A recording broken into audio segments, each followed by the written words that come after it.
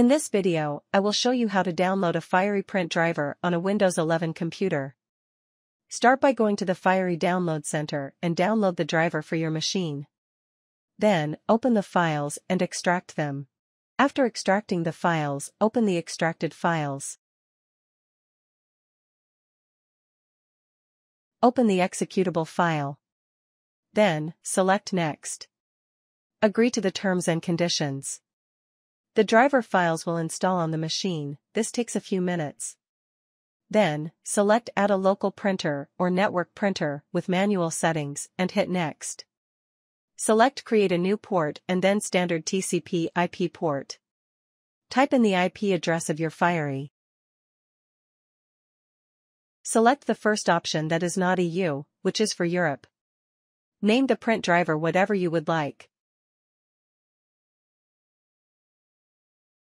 Now, your driver is downloaded and complete. I would recommend going into your printers in the settings. Then select the printer, go to Printer Properties, and go to the Accessories tab. Disable the Update Fiery driver when opened. This will prevent a delay every time Fiery Properties is opened. Thanks for watching.